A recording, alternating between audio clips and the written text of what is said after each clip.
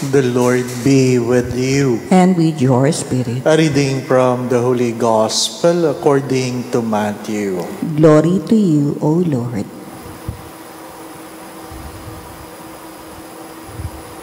Peter approached Jesus and asked him, Lord, if my brother sins against me, how often must I forgive him?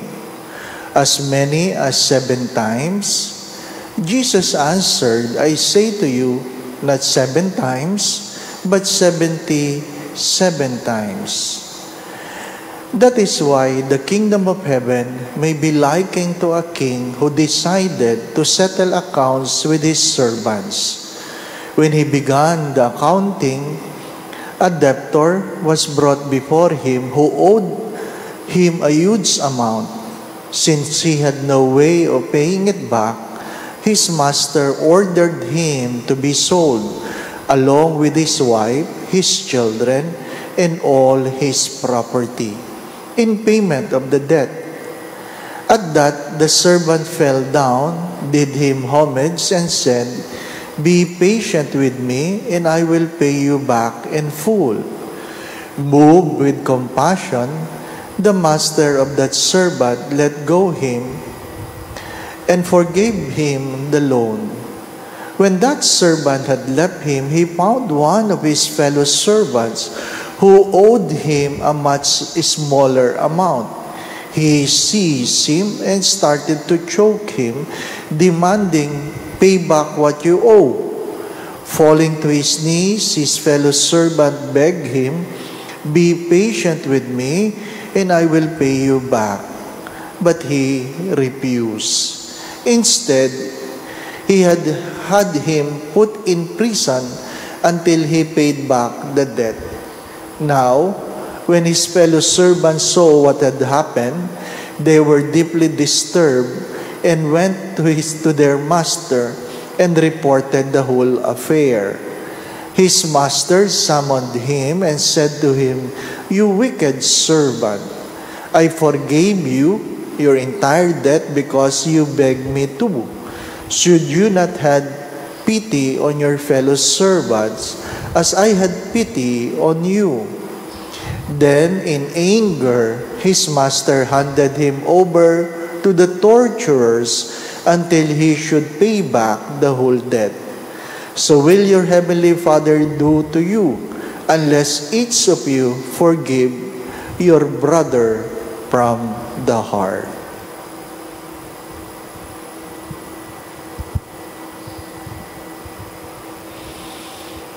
The Gospel of the Lord.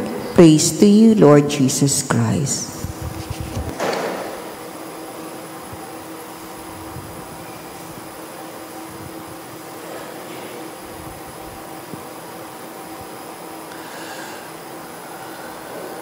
As Saraya, coming before God, acknowledging that they have no temple and they have no offering. And the only thing Azariah, the prophet, can say, what only the only thing we have is a contrite heart. A contrite heart. My dear brothers and sisters, as I have said this last Sunday, your heart is more important than your offerings. Hindi kailangan ng Diyos ng templo at hindi kailangan ng Diyos ang ating mga paghahandog. Tayo ang may pangangailangan. Ang mahalaga sa Diyos ay isang malinis na puso.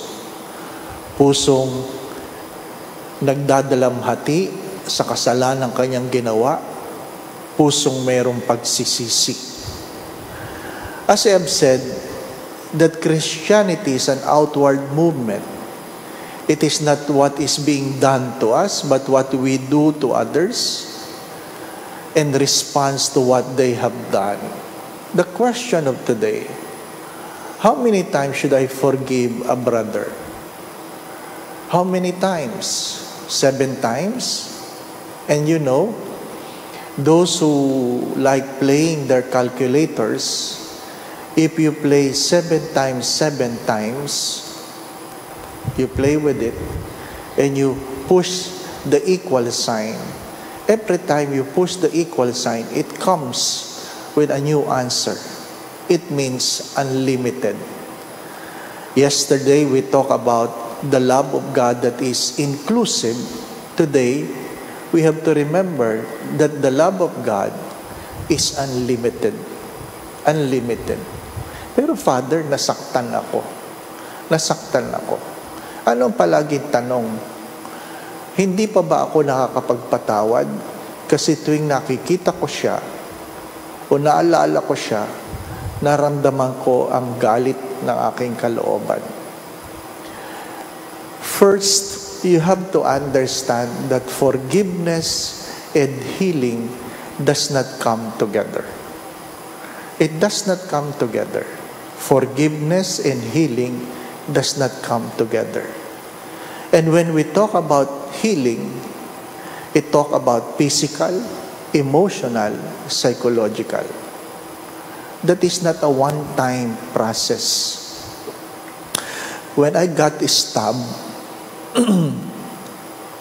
when I was in college, a victim of a multiple stab wounds, every time I remember the incident, even though the wounds in my body already healed, I can still feel the pain. I can still feel the pain. We call it the physical trauma. The physical trauma. Wala na sugat, pero parang may sumasakit-sakit. Ano yung emotional healing? Of course, there is a distrust in people who come nearer to you when you go to that place. Ano yung psychological healing? kailangan mong i-precondition uli ang utak mo na hindi naman lahat ng ganyang itsurang tao hold upper. It does not come overnight. It does not come overnight. Don't expect when you forgive somebody, all the pains will go. It takes time. It takes time. The moment you are being betrayed and you have forgiven, the person has to re-earn the trust na sinira niya. Hindi, hindi porke pinatawad mo, ang dating pagtitiwala, magbabalik agad. Nandun palagi ang paghihinala. Nandun palagi. Nandun ang sakit at sakit ng kalooban. Magandang pagtunan ng pansin yon. It takes time. You have to understand But you always know this. Do I have to wait for the person to come to me before I forgive? No. No. Kailangan mo bang ang tao ay umalis o mawala yung mga dahilan ng pagkasugat mo bago mo gamutin ang sugat mo? Hindi. Gamutin mo na kaagad. Ba't mo antayong magnaknak ang sugat mo? Hindi. It is your obligation to heal yourself. If they don't want to ask for forgiveness, so what? But if you keep on holding to the pains every time you remember, then you are the one giving injustice to yourself. Nakakakain na sila ng maayos, nakakatulog na sila ng maayos, ikaw, masama pang loob mo. Again, healing and forgiveness doesn't come together. Second, it you don't have to wait for others to ask for forgiveness to forgive. You forgive because it is what is good for you. Third, this is more important. Remember, when you sin against God, when you sin against God, nagkakaroon ka ng utang sa Diyos. At anong sabi doon? May mga utang na ikaw ay hindi mo kayang bayaran na ikaw lang. Magbabayad ang iyong pamilya, magbabayad ang iyong asawa, magbabayad ang iyong anak. Huwag mong kakalimutan yan. May mga mga utang na hindi mo kayang bayaran ng ikaw lang. Kaya bago ka mangutang, itanong mo muna sa iyong sarili, Kaya ko bang bayaran ito? O mayroong ibang taong magdudusa lang dahil sa pagkakautang na ito? Habag, habag, mercy is we rely, is what we rely and ask from God. Habag, to enjoy the benefits we do not for, we do not deserve. My dear friends, to be spared from the punishment we deserve.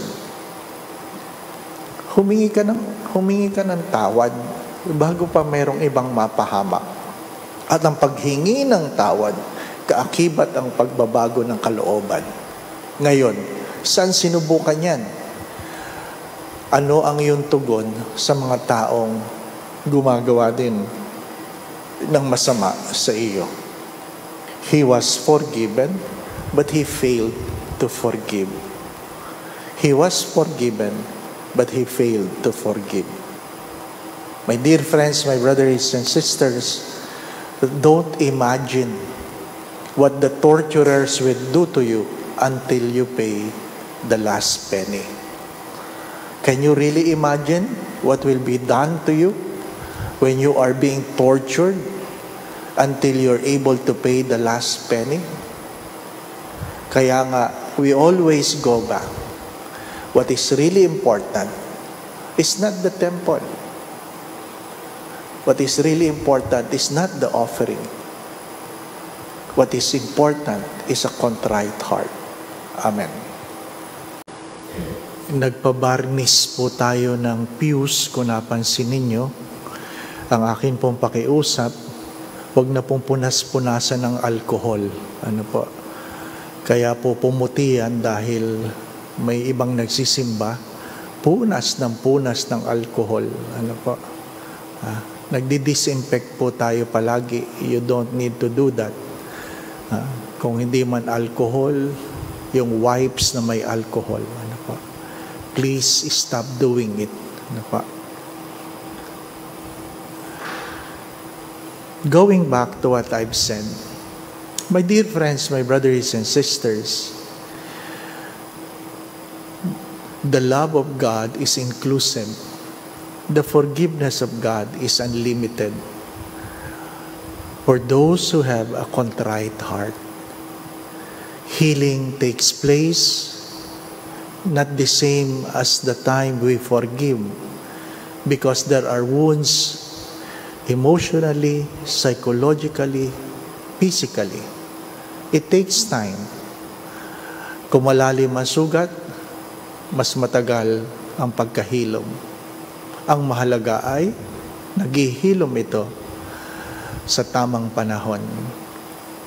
Pero magandang pagtuunan ng pansin, mga minamahal na mga kapatid. Do not forget this. We will be judged not what is being done to us, but what we do to others. What we do to others. And lastly, perhaps, remember that every debt, lahat ng pagkakautang ay dapat bayaran. May utang na hindi kayang bayaran ng may utang, kaya ang magbabayad ay kasamang asawa, anak, buong pamilya. Mag-iingat kayo. Mag-iingat kayo. At may pagkakautang kung saan you will be tortured in a very unimaginable way until you're able to pay your debts. The Lord be with you. And with your spirit. Bow your heads and pray for God's blessing. O God, founder and ruler of your people, drive away the sins that assails them, that they may always be pleasing to you, and ever safe under your protection, through Christ our Lord. Amen. And may Almighty God bless you, the Father, the Son, and the Holy Spirit. Amen. We go in peace to love and serve the Lord. Thanks be to God.